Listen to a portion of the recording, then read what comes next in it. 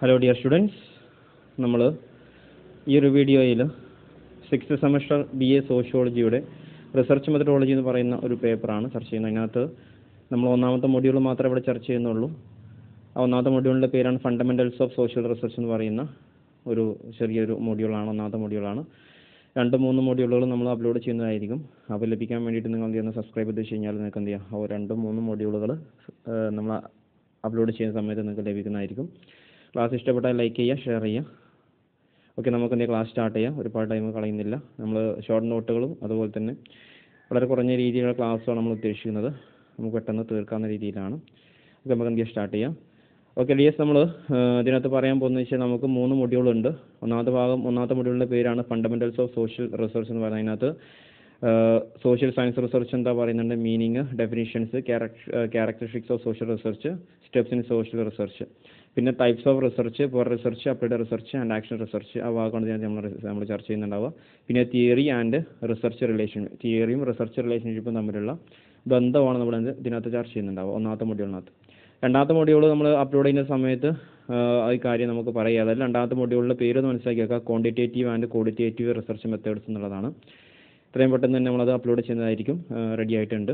Next പറയുകയാണ് data analysis and interpretation എന്നുള്ള മൂന്നാമത്തെ മൊഡ്യൂളിന്റെ പേര് കേട്ടോ ഈ ഒന്നും രണ്ടും മൊഡ്യൂളുകൾ ചെറിയ മൊഡ്യൂൾസ് ആണ്. രണ്ടാമത്തെ മൊഡ്യൂൾ ഇച്ചിരി വലിയൊരു മൊഡ്യൂൾസ് ആണ്. മൊഡ്യൂളാണ് നമുക്ക് എന്ത് ചെയ്യാം? അന്നേരത്ത് നോക്കാം. ഏതായാലും നമ്മൾ ക്ലാസ് സ്റ്റാർട്ട് ചെയ്യാണ്. ഒന്നാമത്തെ മൊഡ്യൂളിന്റെ പേര് നോക്കുക ഫണ്ടമെന്റൽസ് ഓഫ് സോഷ്യൽ റിസർച്ച് എന്നുള്ളതാണ്. അതിനകത്ത് നമ്മൾ സോഷ്യൽ സയൻസ് റിസർച്ച് എന്ന് പറയുന്നുണ്ട്. Meaning definition and characters of social research steps in social research ഇത്രയും ഭാഗമാണ് ഇതിനകത്ത് ഉണ്ടാവുക കേട്ടോ. നോക്കാം നമുക്ക്. റിസർച്ചിന്റെ ഒരു മീനിങ് ആയി നോക്കുന്നുണ്ടെന്ന് മനസ്സിലാക്കി വെക്കണം നന്നാവും. എന്താണ് റിസർച്ച് എന്നുള്ളത് നോക്കാം. അറിവിന്റെ വ്യാപനം ലക്ഷ്യമാക്കിയുള്ള പഠന പ്രക്രിയയാണ് ഗവേഷണം. അതായത് അടി അറിവ് വർദ്ധിപ്പിക്കാനുള്ള ഒരു പ്രക്രിയയാണെന്ത്? റിസർച്ച് എന്ന് പറയുന്നത്. അതായത് അറിവ് കൂട്ടാനുള്ള ഒരു ഒരു പ്രക്രിയ അല്ലെങ്കിൽ ഒരു പ്രവൃത്തി അല്ലേ? ഒരു വിഷയത്തിൽ കേന്ദ്രീകരിച്ചുള്ള ചിട്ടയായും ശാസ്ത്രീയ മാർഗങ്ങൾ അവലംബിച്ചുള്ളതുമായ പഠന പ്രക്രിയയാണ് ഗവേഷണം. നമുക്കറിയാവുന്നതാണ് റിസർച്ച് എന്ന വാക്കുണ്ടായത് റീ പ്ലസ് സെർച്ച് എന്ന രണ്ട് വാക്കുകൾ കൂടി ചേർന്നാണ് അതായത് റീ പ്ലസ് സെർച്ച് എന്ന് പറഞ്ഞ രണ്ട് വാക്കുകൾ ചേർന്നിട്ടാണ് റിസർച്ച് ഉണ്ടായത് നമുക്കറിയാം. റീ എന്ന് പറഞ്ഞാൽ വീണ്ടും സെർച്ച് എന്നാൽ അന്വേഷണം എന്നുമാണ് അർത്ഥം നമുക്കറിയാം.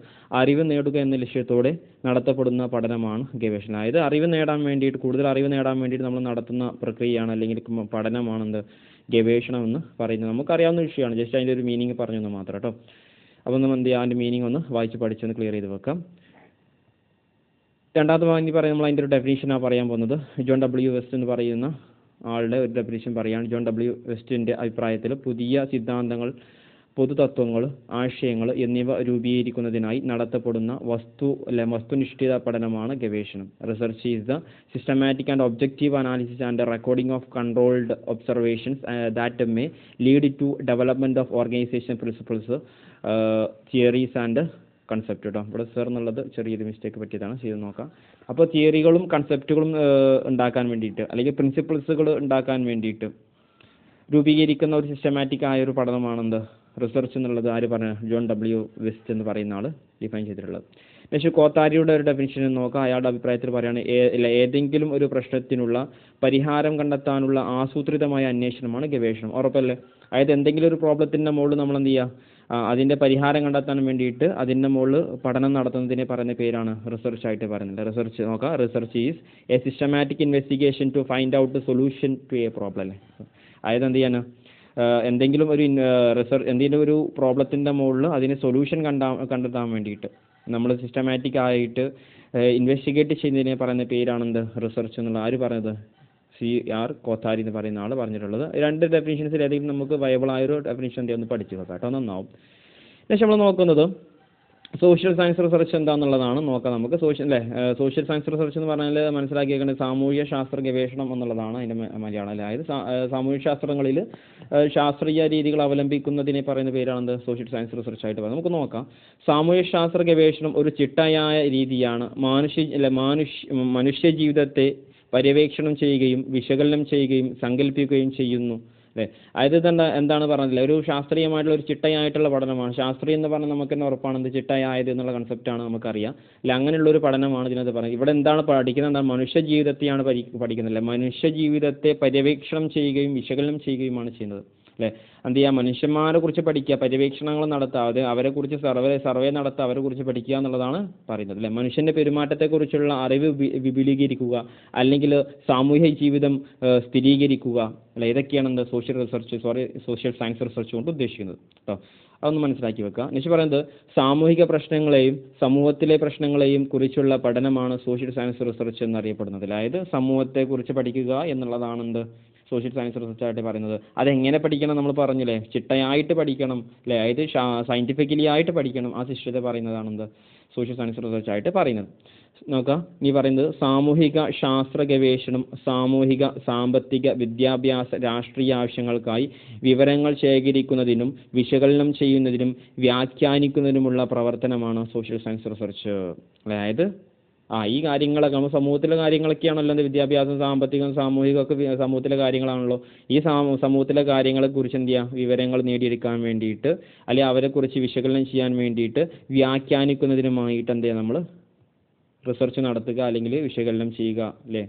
അല്ലെങ്കിൽ അതിനെക്കുറിച്ച് പറയാൻ വേണ്ടിയിട്ട് നമ്മൾ പഠനം നടത്തുന്ന ശിഷ്ടത്തെ പറയുന്ന പേരാണ് സോഷ്യൽ സയൻസ് റിസർച്ച് ആയിട്ട് പറയുന്നത് കേട്ടോ.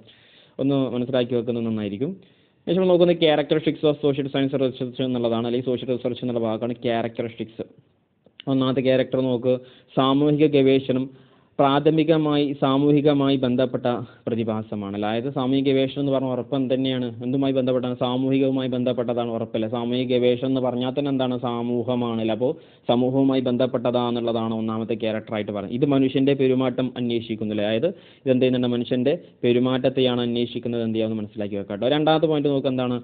സാമൂഹിക ഗവേഷണം പുതിയ അറിവുകളും വസ്തുതകളും നേടിയെടുക്കുന്ന പ്രക്രിയയാണ്. ഉറപ്പല്ലേ? അതായത് സമൂഹത്തിന്റെ പുതിയ അറിവ് സമൂഹത്തിൽ നിന്ന് കിട്ടേണ്ട പുതിയ അറിവുകൾ അല്ലെ? ആ സമൂഹത്തിൽ നിന്ന് കിട്ടേണ്ട പുതിയ കാര്യങ്ങളൊക്കെ എന്ത് ചെയ്യുക? പഠിക്കാൻ വേണ്ടിയിട്ടാണ് സാമൂഹിക ഗവേഷണം നടത്തുന്നത്. എന്നാണ് രണ്ടാമത്തെ അതിന്റെ ക്യാരക്ടറായിട്ട് പറയുന്നത്. ഉറപ്പല്ലേ? മൂന്നാമത്തെ പോയിന്റ് എന്താ പറയുന്നത് നോക്കാം വിവിധ മനുഷ്യർ തമ്മിലുള്ള കാര്യകാരണ ബന്ധം തെളിയിക്കാൻ ശ്രമിക്കുന്ന പ്രവർത്തനമാണ് എന്ത് സോഷ്യൽ റിസർച്ച് എന്ന് പറയുന്നത് അല്ലെ? സോഷ്യൽ റിസർച്ച് നമ്മൾ പറയുന്നത് എന്താണ്? വിവിധ മനുഷ്യർ തമ്മിലുള്ള കാര്യകാരണ ബന്ധം തെളിയിക്കാനാണ് ഇത് ശ്രമിക്കുന്നത്. ഉറപ്പല്ലേ? മനുഷ്യന്മാർ തമ്മിലുള്ള ബന്ധങ്ങളെ തെളിയിക്കാൻ വേണ്ടിയിട്ട് ഇത് ഉപയോഗപ്പെടുത്തുന്നു എന്നുള്ളതാണ് പറഞ്ഞു വരുന്നത്. നെക്സ്റ്റ് പറഞ്ഞ പ്രശ്നങ്ങളുടെ പരിഹാരത്തിലേക്കാണ് ഇത് നയിക്കുന്നത്. നാലാമത്തെ പോയിന്റ് പറയുകയാണെന്ത് സമൂഹത്തിലെ പ്രശ്നങ്ങൾക്കുള്ള പരിഹാരത്തിലേക്കാണ് ഇത് പോകുന്നത് എന്നുള്ളതാണ്. സമൂഹത്തെക്കുറിച്ച് വെറുതെ പഠിക്കേണ്ട ആവശ്യമില്ലല്ലോ. സമൂഹത്തിന്റെ എന്തെങ്കിലും ഒരു വിഷയത്തെ ഒരു പ്രോബ്ലത്തെ കുറിച്ചാണ് പഠിക്കുക. അപ്പോൾ അതിലേക്കുള്ള പരിഹാരത്തിന് വേണ്ടിയിട്ടാണ് ഇത് പഠിക്കുന്നത് എന്നുള്ളതാണ് അവിടെ മറ്റൊരു ക്യാരക്ടറായിട്ട് പറയുന്നത്. നെക്സ്റ്റ് ഫിഫ്ത്ത് പോയിന്റ് നോക്കുക എന്താണ് അത്യന്തിക ലക്ഷ്യം കാരണവും ഫലവും തമ്മിലുള്ള ബന്ധം കണ്ടെത്തുക എന്നതാണ് സാമൂഹിക ഗവേഷണം അതായത് അതിന്റെ അവസാന ലക്ഷ്യം എന്നുള്ളത് സമൂഹത്തിന്റെ ഉണ്ടായ അല്ലെ സമൂഹത്തിൽ ഉണ്ടായിട്ടുള്ള ആ പ്രശ്നത്തിന്റെ കാരണവും അല്ലെ എന്തെങ്കിലും ആ സമൂഹത്തിൽ എന്തെങ്കിലും പ്രശ്നം ഉണ്ടെങ്കിൽ അതിൽ പ്രോബ്ലത്തെ കുറിച്ചാണല്ലോ നമ്മൾ പഠിക്കുക. അതിന്റെ കാരണം എന്താണെന്നും അതിന്റെ ഫലം എന്താണെന്നും തമ്മിലുള്ള ബന്ധം കണ്ടെത്തുക എന്നുള്ളതാണ് എന്താ സാമൂഹിക ഗവേഷണം എന്നുകൊണ്ട് ഉദ്ദേശിക്കുന്നത്. നെക്സ്റ്റ് ആറാമത്തെ പോയിന്റ് പറയുന്നത് എന്താണ് സാമൂഹിക പ്രശ്നങ്ങൾക്കുള്ള കാരണവും ഫലവും തമ്മിലുള്ള ബന്ധം നിർണയിക്കുക എന്നുള്ളത് പറയുന്നുണ്ട്. അതുപോലെ തന്നെ ഏഴാമത്തെ പോയിന്റ് പറയുന്നത് എന്താണ് ഒരു വിജ്ഞാന ശാഖ വളരുന്നത് ഗവേഷണത്തിലൂടെ ലഭിക്കുന്ന അറിവിന്റെ അടിസ്ഥാനത്തിലാണ്. അതായത് നമ്മളെ സമൂഹത്തെക്കുറിച്ചുള്ള ഏതെങ്കിലും ഒരു പ്രോബ്ലത്തിന്റെ ഭാഗത്തുള്ള വിജ്ഞാന ശാഖകൾ വളരുന്നത് അല്ലെങ്കിൽ അതിനെക്കുറിച്ചുള്ള വിവരങ്ങൾ വളരുന്നത് അവിടെ ആ ഭാഗത്തെക്കുറിച്ച് പഠിക്കുമ്പോഴാണ് എന്നുള്ളതാണ് പറഞ്ഞു വരുന്നത്. നെക്സ്റ്റ് പറയുന്നത് സമൂഹത്തെക്കുറിച്ചുള്ള അറിവിനായി. എട്ടാമത്തെ പോയിന്റ് നോക്കാം. സമൂഹത്തെക്കുറിച്ചുള്ള അറിവിനായി ഉള്ള അന്വേഷണമാണ് സാമൂഹിക ഗവേഷണം. അതായത് ആ സമൂഹത്തെക്കുറിച്ച് അറിയാൻ വേണ്ടിയിട്ട് ആ സമൂഹത്തിന്റെ ആചാരങ്ങളോ അനുഷ്ഠാനങ്ങളോ പ്രോബ്ലംസുകളോ എന്തെങ്കിലും ഒരു വിഷയത്തെക്കുറിച്ച് അറിയാൻ വേണ്ടിയിട്ടാണ് എന്ത് ഉപയോഗപ്പെടുന്നത് സാമൂഹിക ഗവേഷണം ഉപയോഗപ്പെടുത്തുന്നത് പറയുന്നുണ്ട്. നെക്സ്റ്റ് പറയുന്നത് വസ്തുതാപരമായ സമീപനമാണ് സാമൂഹിക ഗവേഷണം പിന്തുടരുന്നത് അല്ലേ? ഒൻപതാമത്തെ പോയിന്റ് പറയുന്നത് എന്താണ്? വസ്തുതാപരമായ സമീപനം അല്ലേ? അതായത് എന്തെങ്കിലും ഒരു ലക്ഷ്യത്തിലേക്കുള്ള ഒരു വസ്തുതാപരമായിട്ടുള്ള കാര്യമാണെന്ത്?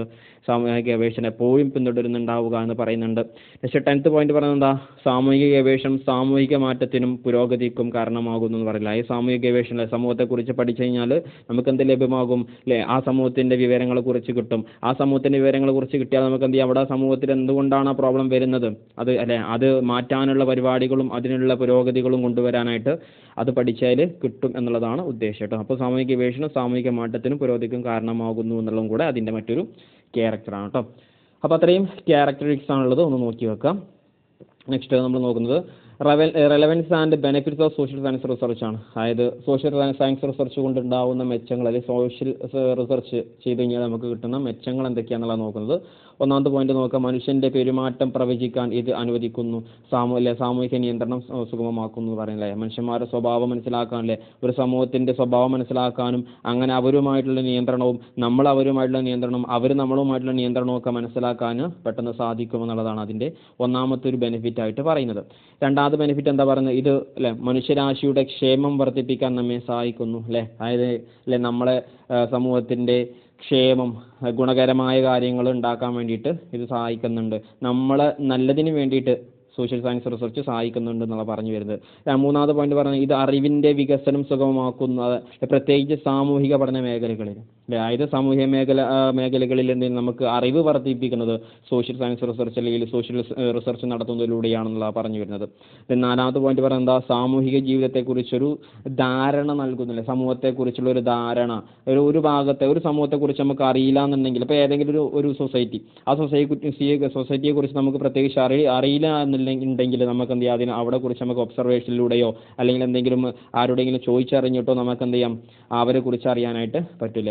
അവരെ ഇങ്ങനെ ഒബ്സർവ് ചെയ്യുക. അല്ലാന്നുണ്ടെങ്കിൽ അവരോട് അവരെ ടച്ചുള്ള വേറെ ആരോടെങ്കിലും നമ്മൾ കാര്യങ്ങൾ അന്വേഷിക്കുക. അതെന്നുള്ള റിസർച്ച് അല്ലേ അങ്ങനെ അവരെ കുറിച്ചുള്ള ഏകദേശ ധാരണ ലഭിക്കാൻ ഏറ്റവും നല്ലത് അല്ലെങ്കിൽ നമുക്ക് ലഭിക്കുന്ന അല്ലെങ്കിൽ ധാരണ ലഭിക്കുന്നത് എങ്ങനെയാണ്? ഈ സോഷ്യൽ സയൻസ് റിസർച്ചിലൂടെയാണ് അല്ലെങ്കിൽ സോഷ്യൽ റിസർച്ചിലൂടെയാണ് ദെൻ ഫിഫ്ത്ത് പോയിന്റ് പറയുന്നത് എന്താണ്? സാമൂഹിക ജീവിതത്തിൽ ആസൂത്രിതമായ ഘടനാപരമായ മാറ്റങ്ങൾ കൊണ്ടുവരാൻ സാമൂഹിക ഗവേഷണം ഉപയോഗിക്കാം എന്ന് പറയുന്നത്. അതായത് നമ്മുടെ സമൂഹത്തിൽ മാറ്റം കൊണ്ടുവരാനും അല്ലെ? സാമൂഹിക ജീവിതത്തിൽ ആസൂത്രിതമായ ഘടനാപരമായ മാറ്റങ്ങൾ അല്ലെ? നമ്മൾ ലക്ഷ്യം വെച്ചുകൊണ്ട് അല്ലെങ്കിൽ നമ്മൾ പ്ലാൻ ചെയ്തുകൊണ്ട് നമുക്ക് എന്ത് ചെയ്യാം? മാറ്റങ്ങൾ കൊണ്ടുവരാനായിട്ട് സാധിക്കും അല്ലെ? എവിടെയും സമൂഹത്തിൽ എന്തെങ്കിലും ഇഷ്യൂസ് ഉണ്ടെങ്കിൽ അല്ലെ? അത് മാറ്റണം എന്നുണ്ടെങ്കിൽ നമുക്ക് എന്ത് ചെയ്യാം? അവിടെ എന്തെങ്കിലും രീതിയിൽ പ്ലാനുകൾ വെച്ചിട്ട് നമുക്ക് എന്ത് ചെയ്യാം? അവിടെ മാറ്റങ്ങൾ കൊണ്ടുവരാനായിട്ട് സാധിക്കും എന്നുള്ളതാണ്. അപ്പോൾ ആസൂത്രിതപരമായ ഘടനാപരമായ മാറ്റങ്ങൾ കൊണ്ടുവരാൻ സമയ ഗവേഷണം ആസൂത്രണം എന്ന് പറഞ്ഞാൽ നമുക്ക് എന്താണ് പ്ലാനിങ് ആണ് അല്ലെ? അങ്ങനെ പ്ലാൻ ചെയ്തുകൊണ്ട് എന്ത് ചെയ്യാം? മാറ്റങ്ങൾ കൊണ്ടുവരാൻ പറ്റും എന്നുള്ളതാണ് അതിന് മറ്റൊരു ബെനിഫിറ്റ് ആയിട്ട് പറയുന്നത് കേട്ടോ.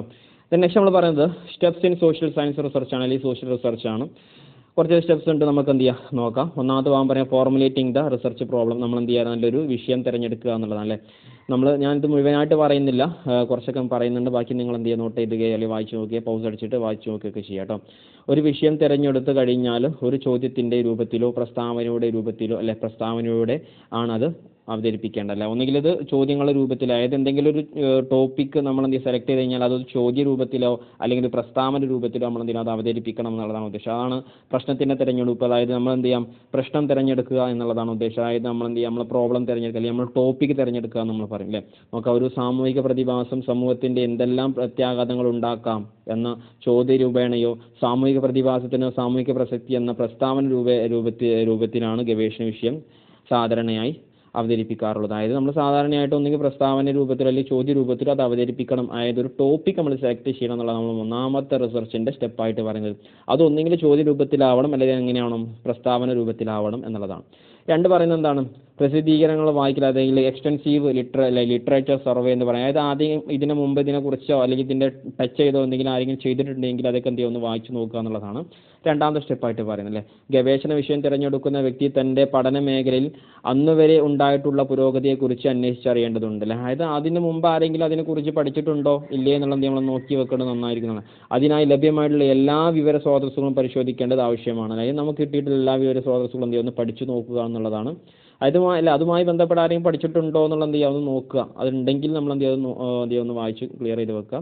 ഇല്ലെങ്കിൽ അതേക്കുള്ള എന്തെങ്കിലും ടച്ച് ആയ എന്തെങ്കിലും പോയിന്റ്സുകൾ ഉണ്ടോ എന്നുള്ള നമ്മൾ എന്ത് ചെയ്യുക നോക്കി വെക്കുന്നതാണ് രണ്ടാമത്തെ സ്റ്റെപ്പായിട്ട് പറയുന്നത് മൂന്നാമത് ഭാഗം പറയുന്നത് ഡെവലപ്പിംഗ് ദ റിസർച്ച് ഹൈപ്പോത്തിസിസ് അല്ലെ പരികല്പനകൾ അല്ലെങ്കിൽ സാങ്കല്പിക സിദ്ധാന്തങ്ങൾ സെറ്റ് ചെയ്യുക എന്നുള്ളതാണ് അല്ലേ. നമ്മളെ ഊഹങ്ങൾ എന്ത് നമ്മൾ സെറ്റ് ചെയ്യുക എന്നുള്ളതാണ് മൂന്നാമത്തെ സ്റ്റെപ്പായിട്ട് അല്ലേ? നോക്കാം.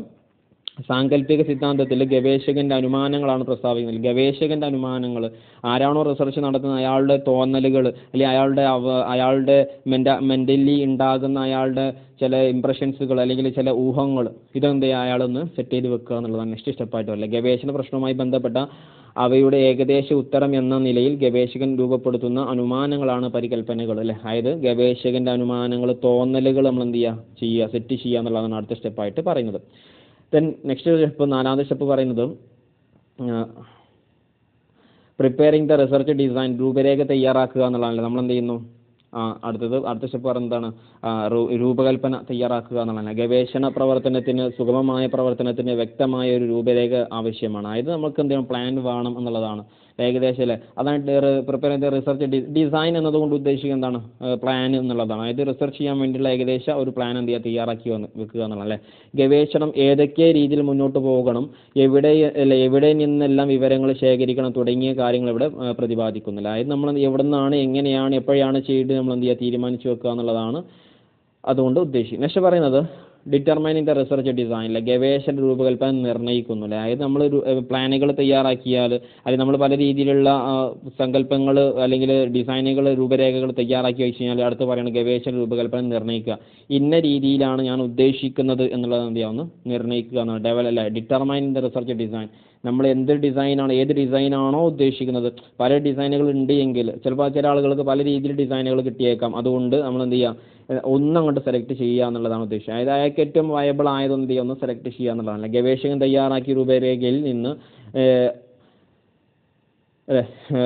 രൂപരേഖയിൽ നിന്ന് അനുയോജ്യമായ എന്നുള്ളതാണ് കേട്ടോ. അനുയോജ്യമായ ഒരു രൂപരേഖ തിരഞ്ഞെടുക്കുന്നു എന്നുള്ളതാണ്. ട്ടോ അവിടെ ചെറിയ മിസ്റ്റേക്ക് ഉണ്ട്. ഇവിടെ അനുയോജ്യമായതെന്നുണ്ട്. അനുയോജ്യമായ രൂപരേഖ തയ്യാറാക്കുക എന്നെന്ത് ചെയ്യുക സോറി തിരഞ്ഞെടുക്കുക എന്നുള്ളതാണ് അടുത്ത സ്റ്റെപ്പായിട്ട് പറയുന്നത്. അപ്പോൾ നമ്മൾ അഞ്ച് സ്റ്റെപ്പ് ആയിട്ടുണ്ട്. നെക്സ്റ്റ് സ്റ്റെപ്പ് പറയുന്നത് എന്താണ്? ആറാമത്തെ സ്റ്റെപ്പ് പറയുന്നത് എന്താണ്? കളക്ടിങ് ദ റിസർച്ച് ഡാറ്റ വിവര ശേഖരണം എന്നുള്ളതാണ്. വിവരങ്ങൾ നമ്മൾ എന്ത് ചെയ്യുക ശേഖരിക്കല. സാമൂഹിക ഗവേഷണത്തിൽ പ്രധാനപ്പെട്ട ഒരു ഘട്ടമാണ് വിവര ശേഖരണം വീക്ഷണം മുഖാമുഖം ഏഹ് പരീക്ഷണം തുടങ്ങിയവയിൽ നിന്നെല്ലാം വിവരങ്ങൾ ശേഖരിക്കണം പല രീതിയിൽ നമുക്ക് വിവരങ്ങൾ ശേഖരിച്ചെടുക്കാം എന്നുള്ളത് പറയുന്നുണ്ട്. ഏതൊക്കെയാണ് രീതികൾ? By observation through personal interview through telephonic interview by questionnaire and mailed questionnaires then through schedules then through cases studies അല്ല കേസ് സ്റ്റഡീസ് അപ്പോൾ ഈ രീതിയിലൂടെയൊക്കെ നമുക്ക് എന്ത് ചെയ്യാം? നമുക്ക് വേണ്ട വിവരങ്ങൾ നേടിയെടുക്കാനായിട്ട് പറ്റും എന്നുള്ളതാണ് ഉദ്ദേശിക്കുന്നത്. അപ്പോൾ എന്ത് ചെയ്യാം? നിങ്ങൾ വൈഡായിട്ട് നിങ്ങൾക്ക് ചോദ്യം ചോദിക്കാവുന്ന വൈഡായിട്ട് ചോദിക്കാൻ സാധ്യതയില്ല. ഇനി അഥവാ നിങ്ങൾക്ക് ഇതൊക്കെ അറിയാമെന്നുണ്ടെങ്കിൽ എന്ത് എക്സ്പ്ലെയിൻ ചെയ്ത് കൊടുക്കുന്നത് നന്നായിരിക്കും ചെയ്യും കേട്ടോ. നെക്സ്റ്റ് പറയുന്നത് നമ്മൾ ഏഴാമത്തെ സ്റ്റെപ്പാണ് പദ്ധതിയുടെ നിർവഹണം എന്നുള്ളത്. എക്സെക്ഷൻ ഓഫ് ദ പ്രൊജക്റ്റ് എന്ന് പറയുന്നുണ്ട്. Sorry execution of the project എന്ന് പറയുന്നുണ്ട്. പ്രൊജക്റ്റ് നമ്മൾ എക്സിക്യൂട്ട് ചെയ്യുക എന്നുള്ളതാണ് പറയുന്നത്. അല്ലേ? അതായത് പ്രൊജക്റ്റ് അങ്ങോട്ട് നടപ്പിലാക്കുക എന്നുള്ളതാണ് അടുത്ത പോയിന്റ് ആയിട്ട് പറയുന്നത്. ഗവേഷണ ടീം ആസൂത്രണം ചെയ്യുന്ന ചെയ്യുന്നതെല്ലാം പ്രവർത്തന ക്ഷമമാക്കുന്ന പ്രൊജക്റ്റിന്റെ ഘട്ടമാണ് പ്രൊജക്റ്റ് എക്സിക്യൂഷൻ കൊണ്ട് ഉദ്ദേശിക്കുന്നത്. അതായത് അയാൾ അവർ ചെയ്ത പ്ലാൻ ചെയ്ത കാര്യങ്ങളൊക്കെ എന്ത് ചെയ്യുക നടപ്പിലാക്കുന്ന പ്രവർത്തനമാണ് എന്ത് പ്രൊജക്റ്റ് എക്സിക്യൂഷൻ ആയിട്ട് പറയേണ്ടത് പ്രൊജക്റ്റ് എക്സിക്യൂഷൻ എന്ന് പറഞ്ഞാൽ എന്താണ്? അവർ പ്ലാൻ ചെയ്ത കാര്യങ്ങൾ എന്ത് അങ്ങോട്ട് നടപ്പിലാക്കുക എന്നുള്ളതാണ് പറയുന്നത് കേട്ടോ. അതേ ഒന്ന് മനസ്സിലാക്കി വെക്കുക. അത്രയും സ്റ്റെപ്പുകളാണ് എന്തിനു ഉള്ളത്? സോറി അത്രയും സ്റ്റെപ്പല്ല ഈ ഒരു വിശകലനം പറയുന്നുണ്ട്. അതുപോലെ തന്നെ പരികല്പനയുടെ പരിശോധന പറയുന്നുണ്ട്. നോക്കാം. വിവിധ മാർഗങ്ങളിലൂടെ ശേഖരിച്ച വിവരങ്ങളുടെ അപഗ്രഥനം വളരെ ശ്രദ്ധാപൂർവം നിർവഹിക്കേണ്ട ഒരു പ്രവൃത്തിയാണ്. അതായത് നമ്മൾ എന്ത് ചെയ്യുക? ഭിന്ന വിശകലനം ചെയ്യലാണ് നമ്മൾ ചെയ്യുന്നത്. പിന്നെ ഗവേഷണത്തിന് ഉത്തരം ലഭിക്കുവാൻ പര്യാപ്തമായ രീതിയിൽ ആയിരിക്കണം വിവര വിശകലനം. അതായത് നമ്മൾ ഉത്തരത്തിന് അല്ലെങ്കിൽ ഉത്തരം കിട്ടുന്ന രീതിയിലാവണം നമ്മൾ വിശകലനം എന്ന് പറയുന്നത്. അതായത് നമ്മൾ ടോപ്പിക്ക് സെലക്ട് ചെയ്തതിന്റെ അടിസ്ഥാനത്തിൽ തന്നെയാണ് നമ്മൾ എന്ത് ചെയ്യേണ്ടത്? വിവര വിശകലനം നടത്തുന്നത് എന്ന് പറയുന്നുണ്ട്. പിന്നെ പറയുന്നത് എന്താണ് സെറ്റിംഗ് ഹൈപ്പോത്തിസിസ് അല്ലെങ്കിൽ പരികല്പനയുടെ പരിശോധന എന്ന് പറഞ്ഞാൽ വിശകലനത്തിന് ശേഷമാണ് ഗവേഷകൻ തന്റെ അനുമാനങ്ങൾ ശരിയാണോ തെറ്റാണോ എന്ന് വിലയിരുത്തുന്നത്. അതായത് നമ്മൾ എന്ത് ചെയ്യുക അപ്പോൾ നമ്മൾ നേരത്തെ ഹൈപ്പോത്തിസിസ് സെറ്റ് ചെയ്തല്ലോ അത് ശരിയാണോ തെറ്റാണോ നമ്മൾ എന്ത് ചെയ്യുക നോക്കുന്ന ഒരു പ്രവൃത്തിയാണ് എന്ത് ഈ ഹൈപ്പോത്തിസിസ് ടെസ്റ്റിംഗ് ആയിട്ട് പറയുന്നത് കേട്ടോ. പിന്നെ നമ്മൾ നോക്കുന്നത് ജനറലൈസേഷൻ ആൻഡ് ഇന്റർപ്രിട്ടേഷൻ എന്നുള്ളതാണ്. നിഗമനങ്ങൾ എത്തിച്ചേരൽ എന്നുള്ളതാണ് പറയുന്നത്. നിഗമനങ്ങൾ എത്തിച്ചേരുമ്പോൾ മാത്രമേ ഒരു ഗവേഷകൻ പ്രവർത്തനം അതിന്റെ ലക്ഷ്യത്തിൽ ലക്ഷ്യങ്ങൾ കൈവരിച്ചെന്ന് പറയുവാൻ കഴിയുള്ളൂ അതായത് ഇതിനകത്ത് പറയുന്നത് വെച്ചാൽ അയാൾ എന്ത് ചെയ്യണം? പിന്നെ ജനറലൈസ് ചെയ്യണം. ജനറലൈസ് ചെയ്യുക എന്ന് പറഞ്ഞാൽ എന്താണ്? ഒരു അതെ അനുമാനങ്ങളിൽ എത്തിച്ചേരണം എന്നുള്ളതാണ് നെക്സ്റ്റ് സ്റ്റെപ്പായിട്ട് പറയുന്നത്. അയാൾ അതങ്ങനെ അനുമാനങ്ങൾ എത്തിച്ചേരുന്നാൽ മാത്രമേ എന്താവുന്നുള്ളൂ? റിസർച്ച് കംപ്ലീറ്റ് ആവുന്നുള്ളൂ എന്നുള്ളതാണ് ഉദ്ദേശിക്കുന്നത് കേട്ടോ. നെക്സ്റ്റ് പറയുന്നത് preparing the preparing of the report അല്ലെങ്കിൽ പ്രസന്റേഷൻ ഓഫ് ദ റിസൾട്ട് എന്ന് പറയുന്നത്. ഗവേഷണ ഫലങ്ങൾ പ്രസിദ്ധീകരിക്കൽ എന്നുള്ളതാണ്. അല്ലെ ഗവേഷണ പ്രക്രിയയിലെ ഏറ്റവും അവസാന ഘട്ടമാണിത്. ഗവേഷണ ഫലമായി ഉണ്ടായ കണ്ടെത്തലുകൾ എന്തൊക്കെയാണെന്ന് വിശദീകരിക്കലാണ് റിപ്പോർട്ട് റിപ്പോർട്ടിൽ ഉണ്ടാവുക. അതായത് നമ്മൾ ഗവേഷിച്ച അല്ലെങ്കിൽ ഗവേഷണം നടത്തിയതിന്റെ ഭാഗമായിട്ട് നമുക്ക് കിട്ടിയിട്ടുള്ള കാര്യങ്ങൾ നമ്മൾ എന്ത് ചെയ്യുന്ന? റിപ്പോർട്ടിൽ പ്രസിദ്ധീകരിക്കുകയാണ് അല്ലെങ്കിൽ എഴുതി ചേർത്ത് ഉണ്ടാക്കുകയാണ് ചെയ്യുന്നത്. അപ്പോൾ അത്രയും സ്റ്റെപ്പുകളൊക്കെ അതിനകത്ത് ഉണ്ട്. എന്ത് ചെയ്യാമെന്ന് മനസ്സിലാക്കി വെക്കുക. അപ്പോൾ നമ്മൾ ഏതൊക്കെ നോക്കിയത് നോക്കാം. അതൊക്കെയാണ് നമ്മൾ നോക്കിയ സ്റ്റെപ്സിനകത്ത് നമ്മൾ ഒന്നാമത്തെ സ്റ്റെപ്പ് എന്തായിരുന്നു? ഫോർമുലേറ്റിംഗ് ദ റിസർച്ച് പ്രോബ്ലം അല്ല? രണ്ടാമത്തെ പ്രസിദ്ധീകരണം വായിക്കൽ പിന്നെ സങ്കല്പങ്ങൾ വികസിപ്പിക്കൽ പിന്നെ പറഞ്ഞ എന്തായിരുന്നു? Preparing the research design then determination of research design ഇതിൽ നമ്മൾ പറഞ്ഞ എന്താണ്? Collecting the research datas then execution of the project project നടപ്പിലാക്കൽ ഇതിൽ നമ്മൾ പറഞ്ഞത് analysis of data then hypothesis testing അതിനുശേഷം നമ്മൾ എന്ത് ചെയ്തു? ജനറലൈസേഷൻ ആൻഡ് ഇന്റർപ്രിട്ടേഷൻ പറഞ്ഞു. പിന്നെ പ്രിപ്പറിന്റെ റിപ്പോർട്ട് നമ്മൾ പറഞ്ഞു അല്ലേ? അപ്പോൾ എന്ത് ചെയ്യണം നമ്മൾ ഇത്രയും ഒരു ഒൻപത് സ്റ്റെപ്പുകൾ സോറി പത്ത് പതിനൊന്ന് സ്റ്റെപ്പുകൾ എന്ത് ചെയ്യാമെന്ന് മനസ്സിലാക്കി പതിനൊന്ന് സ്റ്റെപ്പുകളുണ്ട്. അത് അതുപോലെ തന്നെ എന്ത് ചെയ്യുന്നു? പഠിച്ചു വെക്കുക കേട്ടോ. നെക്സ്റ്റ് പറയുന്നത് നമ്മൾ ടൈപ്സ് ഓഫ് റിസർച്ച് ആണ്. Pure research applied research and action research എന്നുള്ള ഭാഗമാണ് എന്ത് ചെയ്യുന്നത്? നന്നായിട്ട് മനസ്സിലാക്കി വെക്കണം. ആദ്യം നമ്മൾ നോക്കുന്നത് ബേസിക് റിസർച്ച് എന്താണെന്നുള്ളതാണെങ്കിൽ പുവർ റിസർച്ച് എന്ന് പറയുന്നത് അതിന്റെ മറ്റൊരു പേരാണെന്ന് ബേസിക് റിസർച്ച് എന്നുള്ളത് കേട്ടോ. ഒന്ന് മനസ്സിലാക്കി വെക്കുക. പുവർ റിസർച്ചിന് മറ്റൊരു പേരാണെന്ന് ബേസിക് റിസർച്ച് കേട്ടോ. ഏതൊരു വിഷയത്തിലും പുതിയ അറിവ് നേടുന്നതിനായി നടത്തപ്പെടുന്ന ഗവേഷണങ്ങളാണ് അതാത് വിഷയങ്ങളുടെ വളർച്ചയെ സഹായിക്കുന്നത്. അതായത് മനസ്സിലാക്കി വെക്കുക. നമ്മൾ ആദ്യമായിട്ട് നടത്തുന്ന അല്ലെ പുതിയ അറിവ് നേടാൻ വേണ്ടിയിട്ട് നടത്തുന്ന വിഷയം അല്ലെങ്കിൽ പഠനമാണെന്ത്? ഈ പുവർ അല്ലെങ്കിൽ ബേസിക് റിസർച്ച് ആയിട്ട് പറയുന്നത്. വിഷയവുമായി ബന്ധപ്പെട്ട് അടിസ്ഥാന അടിസ്ഥാന തത്വങ്ങൾ വികസിപ്പിച്ചെടുക്കുക എന്നതാണ് അടിസ്ഥാന ഗവേഷണങ്ങളുടെ ലക്ഷ്യം എന്ന് പറയുന്നത്. അതായത് വിഷയവുമായി ബന്ധപ്പെട്ട് അടിസ്ഥാന തത്വങ്ങൾ വികസിപ്പിച്ചെടുക്കുക എന്നതാണ് അടിസ്ഥാന ഗവേഷണങ്ങളുടെ ലക്ഷ്യം എന്ന് പറയുന്നത്. അതായത് നമ്മൾ എന്ത് ചെയ്യുക ആ വിഷയവുമായി ബന്ധപ്പെടുത്തിക്കൊണ്ട് അല്ലെങ്കിൽ ആ വിഷയവുമായി ബന്ധപ്പെട്ടുകൊണ്ട് നമ്മൾ എന്ത് ചെയ്യുന്നു അടിസ്ഥാന വിവരങ്ങളിൽ അടിസ്ഥാന തത്വങ്ങൾ നമ്മൾ വികസിപ്പിച്ചെടുക്കുക എന്നുള്ളതാണ് പുവർ റിസർച്ച് അല്ല ബേസിക് എന്ന് കേട്ടാൽ തന്നെ നമുക്ക് അറിയാം എന്താണ്. ബേസിക് എന്ന് പറഞ്ഞാൽ അടിസ്ഥാനം എന്നുള്ളതാണ് അല്ലേ അങ്ങനെ അടിസ്ഥാന തത്വങ്ങൾ ഉണ്ടാക്കിയെടുക്കുക എന്നുള്ളതാണ് എന്ത്? ഈ ബേസിക് റിസർച്ചിന്റെ അല്ലെങ്കിൽ പുവർ റിസർച്ചിന്റെ ഒരു ലക്ഷ്യമായിട്ട് പറയുന്നത് എന്തെന്ന് മനസ്സിലാക്കി വെക്കുക കേട്ടോ. അതായത് ഏതൊരു വിഷയത്തിലും പുതിയ അറിവ് നേടുന്നതിനായി നടത്തപ്പെടുന്ന ഗവേഷണങ്ങളാണ് അതാത് വിഷയങ്ങളുടെ വളർച്ചയെ സഹായിക്കുന്നത്. വിഷയവുമായി ബന്ധപ്പെട്ട അടിസ്ഥാന തത്വങ്ങൾ വികസിപ്പിച്ചെടുക്കുക എന്നതാണ് അടിസ്ഥാന ഗവേഷണങ്ങളുടെ ലക്ഷ്യം എന്ന് പറയുന്നുണ്ട് കേട്ടോ. എന്ത്? അപ്ലൈഡ് റിസർച്ച് അതായത് അപ്ലൈ ചെയ്യുക എന്നുള്ളതാണ് അപ്ലൈഡ് റിസർച്ച് നമ്മൾ എന്തെങ്കിലും ബ്രേക്ക് അപ്ലൈ ചെയ്യുക എന്നൊക്കെ പറയാറില്ലേ? അല്ലെ? അപ്ലൈഡ് അല്ലെ? പെട്ടെന്ന് നമ്മൾ എന്ത് ചെയ്യുക അല്ലെങ്കിൽ എവിടെയെങ്കിലും ഉപയോഗിക്കാൻ വേണ്ടിയിട്ട് ചെയ്യുന്ന റിസർച്ചുകളാണെന്ന് ഈ അപ്ലൈഡ് റിസർച്ച് ആയിട്ട്. നോക്കാം നമുക്ക്. ശാസ്ത്രീയ അറിവുകൾ ഉപയോഗപ്പെടുത്തി ഏതെങ്കിലും ഒരു പ്രശ്നത്തിന് പരിഹാരം കണ്ടെത്താനുള്ള പ്രവർത്തനമാണ് അപ്ലൈഡ് റിസർച്ച് അതായത് അപ്ലൈ ചെയ്യാനുള്ള റിസർച്ചുകളാണ് അപ്ലൈഡ് റിസർച്ച് ആയിട്ട് പറയുന്നത്. അതായത് ഏതെങ്കിലും ഒരു വിഷയവുമായി ബന്ധപ്പെട്ട് അവിടെ മാറ്റങ്ങൾ കൊണ്ടുവരാനോ അവിടെ എന്തെങ്കിലും രീതിയിൽ അല്ലെ? ഏതെങ്കിലും രീതിയിൽ എന്തെങ്കിലും അഡോപ്ഷൻസ് വരുത്താനോ അല്ലെങ്കിൽ എന്തെങ്കിലും മാറ്റങ്ങൾ വരുത്താനോ വേണ്ടിയിട്ട് നമ്മൾ നടത്തുന്ന റിസർച്ചിനെ പറയുന്ന പേരാണ് എന്ത് അപ്ലൈഡ് റിസർച്ച് ആയില്ല അപ്ലൈ ചെയ്യുക എന്ന് പറഞ്ഞാൽ നമുക്കറിയില്ലേ? അവിടെ എന്ത് ചെയ്യുക? നടപ്പിലാക്കുക അല്ലെങ്കിൽ എന്ത് ചെയ്യുക? അവിടെ മാറ്റം വരുത്തി കൊണ്ടുവരിക എന്നുള്ളതാണ് നമ്മൾ അപ്ലൈഡ് റിസർച്ച് ആയിട്ട് പറയുന്നത്. അല്ല? അപ്പോൾ ആ രീതികൾക്ക് വേണ്ടിയിട്ട് നമ്മൾ നടത്തുന്ന റിസർച്ചാണ് എന്ത്? അപ്ലൈഡ് റിസർച്ച് ആയിട്ട് പറയുന്നത് എന്ന് മനസ്സിലാക്കി വെക്കാം. നോക്കാം.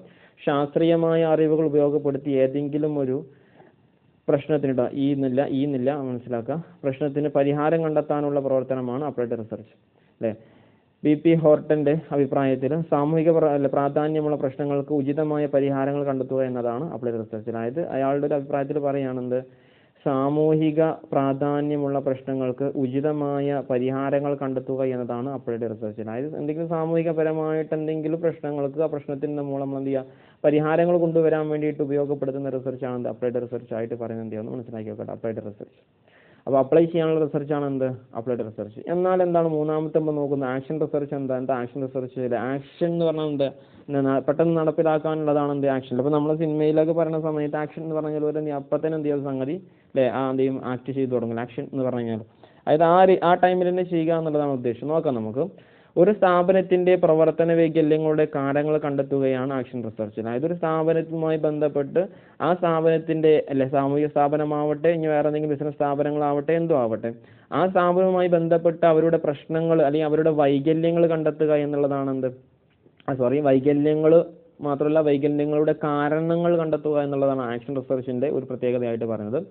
അതായത് ഒരു സ്ഥാപനത്തിലോ സംവിധാന സംവിധാനത്തിലോ ഓരോ വളരെ പെട്ടെന്ന് സോറി വളരെ പെട്ടെന്ന് കേട്ടോ ഓരോന്നില്ല ഇവിടെ ഓരോന്നും വേണ്ട. വളരെ പെട്ടെന്ന് വരുത്തേണ്ട മാറ്റങ്ങളെ കുറിച്ച് പഠിക്കുകയും അവ ഉടനടി നടപ്പിലാക്കുക നടപ്പിലാക്കുകയാണ് ഇതിന്റെ ലക്ഷ്യം എന്നുള്ളതാണ്. അതായത് ഒരു സ്ഥാപനത്തിൽ അല്ലെ സാമൂഹ്യ സ്ഥാപനമാവട്ടെ ബിസിനസ് സ്ഥാപനങ്ങളാവട്ടെ എന്തോ ആവട്ടെ അവരുമായി ബന്ധപ്പെട്ട് അതിന്റെ കാരണം കണ്ടെത്തിയിട്ട് ആ കാരണത്തിന്റെ അല്ലെ മാറ്റങ്ങൾ അല്ലെങ്കിൽ കാരണം വരാതിരി ഇനി ആ ഒരു ഇഷ്യൂ വരാതിരിക്കാൻ വേണ്ടിയിട്ട് നമ്മൾ എന്താണോ ചെയ്യേണ്ടത് അത് ചെയ്യാൻ വേണ്ടിയിട്ട് നമ്മൾ എന്ത്? ഏറ്റവും പെട്ടെന്ന് എത്രയും പെട്ടെന്ന് എന്ത് ചെയ്യുക മാറ്റങ്ങൾ കൊണ്ടുവരാൻ വേണ്ടി ഉപയോഗപ്പെടുത്തുന്ന ഒരു സിസ്റ്റമാണ് ഒരു റിസർച്ചാണ് ആക്ഷൻ റിസർച്ച് ആയിട്ട് പറയുന്നത്. കേട്ടോ അപ്പോൾ ബേസിക് റിസർച്ച് എന്തായിരുന്നു? ബേസിക് റിസർച്ച് എന്തായിരുന്നു? ബേസിക് ബേസിക് റിസർച്ച് അതായത് ബേസിക് ആയ തത്വങ്ങൾ നേടിയെടുക്കാൻ വേണ്ടിയിട്ട് അല്ലെങ്കിൽ ഉണ്ടാക്കാൻ വേണ്ടിയിട്ടില്ല. അടിസ്ഥാന തത്വങ്ങൾ ഉണ്ടാക്കാൻ വേണ്ടി നമ്മൾ ഉപയോഗപ്പെടുത്തുന്ന റിസർച്ച് ആയിരുന്നു ബേസിക് റിസർച്ച് എന്നാൽ അപ്ലൈ റിസർച്ച് എന്തായിരുന്നു? അല്ലേ അതായത് ഏത് അല്ലേ ഒരു എന്ത് ചെയ്യണം? ശാസ്ത്രീയമായ അറിവുകൾ എന്തെങ്കിലും അല്ലേ ഉപയോഗപ്പെടുത്തിക്കൊണ്ട് എന്ത് ചെയ്യും നമ്മൾ പ്രശ്നങ്ങൾക്ക് പരിഹാരം കണ്ടെത്താൻ വേണ്ടിയിട്ട് ഉപയോഗിക്കുന്നതാണ് അപ്ലൈഡ് റിസർച്ച് എന്നാൽ ആക്ഷൻ റിസർച്ച് ഒരു പരിഹാരമാണ്. പക്ഷെ അത് കാരണങ്ങൾ കണ്ടെത്തിയിട്ട് അത് വളരെ പെട്ടെന്ന് എന്ത് ചെയ്യണം നമ്മൾ വരുത്തേണ്ട മാറ്റങ്ങളാണ് അല്ലേ? അതായത് വളരെ പെട്ടെന്ന് മാറ്റങ്ങൾ വരുത്തണം ഇവിടെ നമ്മൾ പറഞ്ഞിട്ടുണ്ടല്ലേ വളരെ പെട്ടെന്നല്ലേ വളരെ പെട്ടെന്ന്. വളരെ പെട്ടെന്ന് നമ്മൾ എന്ത് ചെയ്യണം വരുത്തേണ്ട മാറ്റങ്ങളെ കുറിച്ച് പഠിക്കുകയും അവ ഉടനടി നടപ്പിലാക്കുന്ന നട- നടപ്പിലാക്കുകയാണ് ഇതിന്റെ ലക്ഷ്യം എന്നുള്ളതാണ് മനസ്സിലാക്കേണ്ടത് കേട്ടോ. അതായത് പെട്ടെന്ന് നമ്മൾ എന്ത് ചെയ്യണം അതിന്റെ ലക്ഷ്യങ്ങൾ എന്ത് ചെയ്യുന്നു ഉടനടി നടപ്പിലാക്കണം എന്നാണ് അവിടെ പറയുന്നത്. ഓക്കെ അപ്പോൾ അത്രയും ടൈപ്സ് റിസർച്ചുകൾ എന്ത് ചെയ്ത്? നമ്മൾ നോക്കിയിട്ടുണ്ട്. നോക്കാം. അല്ലേ? ടൈപ്സ് ഓഫ് റിസർച്ചിനകത്ത് നമ്മൾ pure research applied research and action research പറഞ്ഞിട്ടുണ്ട്. നമ്മൾ നോക്കാനുള്ളത് തിയറി ആൻഡ് റിലേഷൻഷിപ്പ് എന്ന് പറയുന്ന ഒരു ഭാഗമാണ്. വളരെ ചെറിയൊരു മൊഡ്യൂളാണിത് നമ്മൾ ഞാൻ നേരത്തെ പറഞ്ഞിട്ടുണ്ട്. വളരെ ചെറിയൊരു മൊഡ്യൂളാണിത് ഇനി നമുക്ക് നോക്കാനുള്ളത് തിയറി ആൻഡ് റിസർച്ച് ആണ്. തിയറിയും റിസർച്ച് അല്ലെ റിസർച്ചും തമ്മിൽ എത്രത്തോളം ബന്ധമുണ്ട് എന്നുള്ളതാണല്ലേ തിയറി എന്ന് പറഞ്ഞാൽ നമുക്കറിയാം എന്താണ്? എന്താ തിയറി എന്ന് പറഞ്ഞു കഴിഞ്ഞാൽ തിയറി എന്ന് പറഞ്ഞാൽ ചില സിദ്ധാന്തങ്ങൾ എന്നുള്ളതാണ്. സിദ്ധാന്തങ്ങൾ എന്ന് നമുക്ക് എന്ത് ചെയ്യാം? പറയാനായിട്ട് പറ്റില്ലേ? അല്ലെങ്കിൽ നമുക്ക് അപ്പോൾ റിസർച്ച് എന്ന് പറഞ്ഞാൽ എന്താ? നമുക്കറിയാം. റിസർച്ച് എന്ന് പറഞ്ഞാൽ ഗവേഷണമാണ്. അപ്പോൾ സിദ്ധാന്തങ്ങളും ഗവേഷണങ്ങളും തമ്മിൽ എന്തെങ്കിലും ബന്ധമുണ്ടോ? ബന്ധമുണ്ട്. ഇപ്പോൾ നമ്മൾ ഹൈപ്പോത്തിസിസ് ഒക്കെ സെറ്റ് ചെയ്യുന്ന സംബന്ധിച്ച് ചില ആൾക്കാരുടെ സിദ്ധാന്തങ്ങൾ ചില അനുമാനങ്ങൾ നമുക്ക് ആവശ്യമാണല്ലേ? ചില ആൾക്കാരുടെ അനുമാനങ്ങൾ എന്ത് ചെയ്യും? കറക്റ്റ് ആവാം. ചില ആൾക്കാരുടെ ഹൈപ്പോത്തിസിസ് ചിലപ്പോൾ എന്ത് ചെയ്യാം? തെറ്റായേക്കാം അല്ലേ? എന്തെങ്കിലും ആവട്ടെ അങ്ങനെ ആവശ്യമാണ് എന്നുള്ളതാണ് പറഞ്ഞത്. അങ്ങനെ റിലേഷൻ ഉണ്ട് എന്ന് ചെയ്യുന്ന മനസ്സിലാക്കി വെക്കാം. നോക്കാം നമുക്ക് ഒന്നാമത്തെ ഒരു റിലേഷൻ നോക്കാം നമുക്ക്.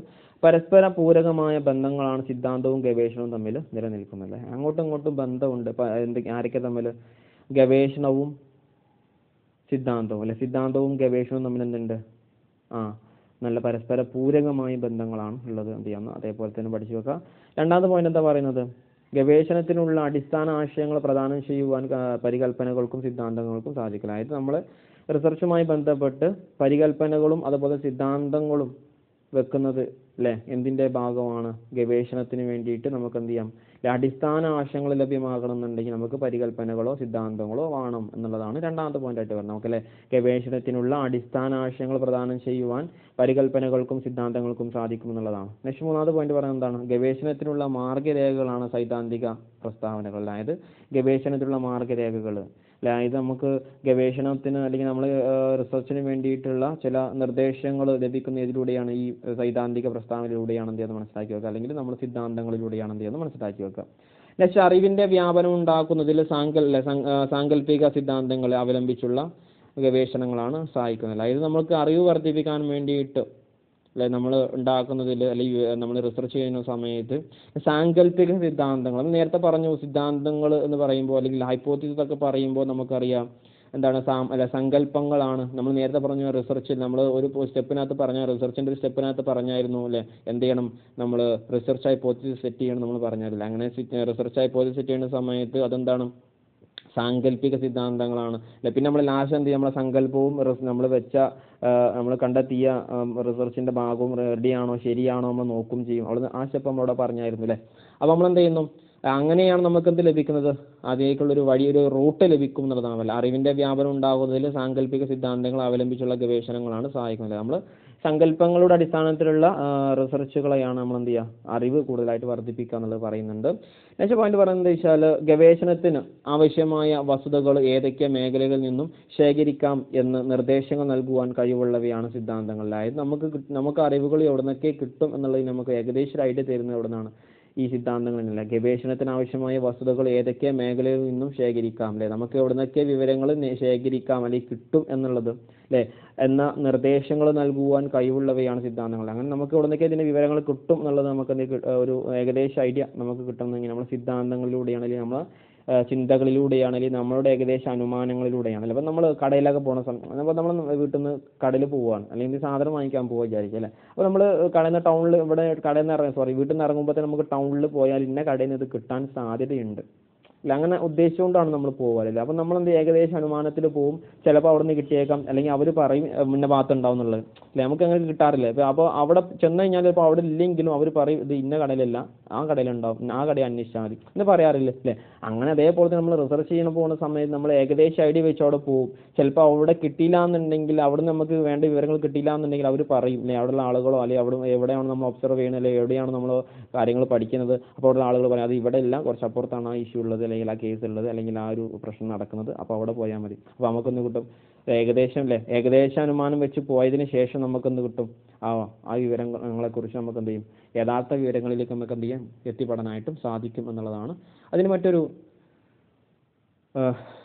ബന്ധമായിട്ട് പറയുന്നത്. നെക്സ്റ്റ് പറയുന്നത് രണ്ടോ അതിലധികമോ വസ്തുതകൾ തമ്മിലുള്ള ബന്ധത്തെ വെളിപ്പെടുത്തുന്ന പ്രസ്താവനകളാണ് സിദ്ധാന്തങ്ങളും പരികല്പനകളും. അതായത് രണ്ട് വേരിയബിൾസുകൾ തമ്മിലുള്ള ബന്ധത്തെ അല്ലേ? അല്ലെങ്കിൽ അവരുടെ കോറിലേഷൻ അല്ലെങ്കിൽ റിലേഷൻസിന് വെളിപ്പെടുത്തുന്ന പ്രസ്താവനകളാണ് സിദ്ധാന്തങ്ങൾ അല്ലെങ്കിൽ തിയറീസ് അല്ലെങ്കിൽ അതുപോലെ തന്നെ ഹൈപ്പോത്തിസുകളായിട്ട് വരുന്നത്. അപ്പോൾ തിയറീസും ഹൈപ്പോത്തിസുകളും രണ്ടോ അതിലധികമോ ഉള്ള വസ്തുക്കൾ തമ്മിലുള്ള ബന്ധങ്ങളെ എന്തെന്ന് വെളിപ്പെടുത്തുന്നുണ്ട്. ആ വെളിപ്പെടുത്തുന്ന പ്രസ്താവനകളാണെന്ത്? ഗവേഷണങ്ങളും സിദ്ധാന്തങ്ങളും സോറി ഗവേഷണങ്ങളല്ല തിയറികളും അതുപോലെ തന്നെ ഹൈപ്പോത്തിസുകളും എന്ന് പറയുന്നുണ്ട്. കേട്ടോ നമ്മൾ ഓക്സ്ഫോർഡ് ഡിക്ഷണറി നൽകിയിട്ടുള്ള ഒരു നിർവചനമാണ് നമ്മൾ നോക്കുന്നത്. ഒന്ന് നോക്കി വെക്കാം. ഓക്സ്ഫോർഡ് ഡിക്ഷണറി നൽകിയിട്ടുള്ള നിർവചനമാണ് ഇത്. ഓക്സ്ഫോർഡ് ഡിക്ഷണറി ഓഫ് സോഷ്യോളജി നൽകുന്ന നിർവചനം അനുസരിച്ച് നമ്മുടെ ഭൗതിക പ്രപഞ്ചത്തെ വിശദമാക്കുന്ന വിശദമാക്കുന്നതിനും രണ്ടോ അതിലധികമോ ഭൗതിക വസ്തുക്കൾ തമ്മിലുള്ള ബന്ധത്തെ വിശദീകരിക്കുന്നതുമായി ബന്ധപ്പെട്ട പ്രസ്താവനകളോ പ്രസ്താവനകളാണ് ഓരോ സിദ്ധാന്തവും. അതായത് ഇതിനെ മനസ്സിലാക്കി വെക്കേണ്ടതെന്ന് വെച്ചാൽ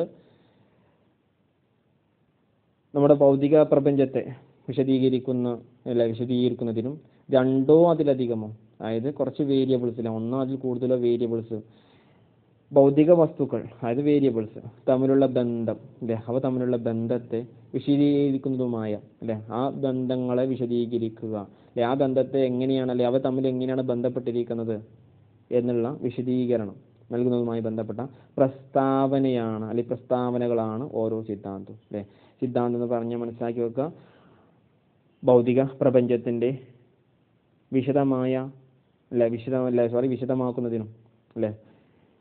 വിശദമാക്കുന്നതിനും രണ്ടോ അതിലധികമോ ഭൗതിക വസ്തുക്കൾ തമ്മിലുള്ള ബന്ധത്തെ വിശദമാക്കുന്നതുമായി പ്രസ്താവനകളാണ് നമ്മൾ സിദ്ധാന്തം അല്ലെങ്കിൽ നമ്മൾ തിയറി ആയിട്ട് പറയുന്നത്. കേട്ടോ ഒന്ന് മനസ്സിലാക്കി വെക്കാം.